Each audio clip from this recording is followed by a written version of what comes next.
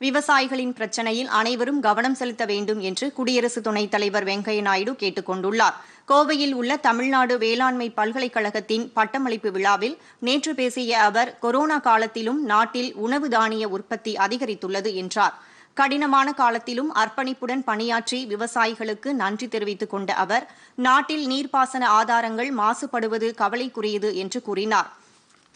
தமிழகம் போன்ற நீர் பற்றாக்குறை உள்ள மாநிலங்களில் வளர்ச்சியை தாங்கும் மரபணு பயிர் வகைகளையும் நீர் சேமிப்பு தொழில்நுட்பங்களையும் உருவாக்க வேண்டும் என்றும் அவர் கேட்டுக் கொண்டார் விவசாயத்தில் உற்பத்தியை அதிகரித்து செலவினத்தை குறைக்க வேண்டும் என்றும் இது சாத்தியமான ஒன்றுதான் என்றும் அவர் குறிப்பிட்டார். மத்திய அரசு விவசாயிகளுக்கு பிரதமர் உதவித்தொகை உட்பட பல்வேறு திட்டங்களை செயல்படுத்தி வருவதாகவும் அதனால் எழுபத்தி இரண்டு சதவீத விவசாயிகள் பயனடைந்து வருவதாகவும் வெங்கையா நாயுடு தெரிவித்தார்.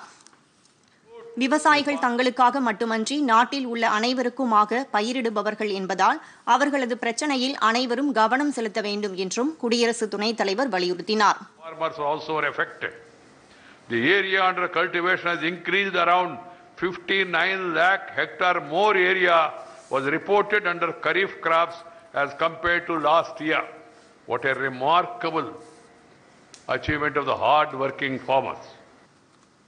Especially in a water scarce state like Tamil Nadu, this calls for breeding efforts to develop drought tolerant genotypes and water saving technologies. Reduce, reuse, recycle water. It is the duty of not only governments, it is the duty of every individual.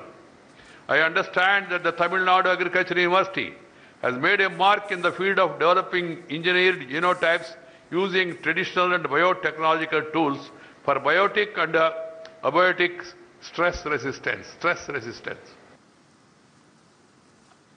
இந்த நிகழ்ச்சியில் பங்கேற்ற ஆயிரத்து முன்னூற்று எண்பத்தைந்து மாணவர்களுக்கு பட்டங்களையும் ஐம்பத்தி ஏழு மாணவர்களுக்கு பதக்கங்களையும் குடியரசு துணைத் தலைவர் வெங்கையா நாயுடு வழங்கினார் இந்த விழாவில் ஆளுநர் பன்வாரிலால் புரோஹித் உயர்கல்வித்துறை அமைச்சர் கே பி அன்பழகன் கால்நடை பராமரிப்புத்துறை அமைச்சர் உடுமலை ராதாகிருஷ்ணன் உட்பட பலர் கலந்து கொண்டனர்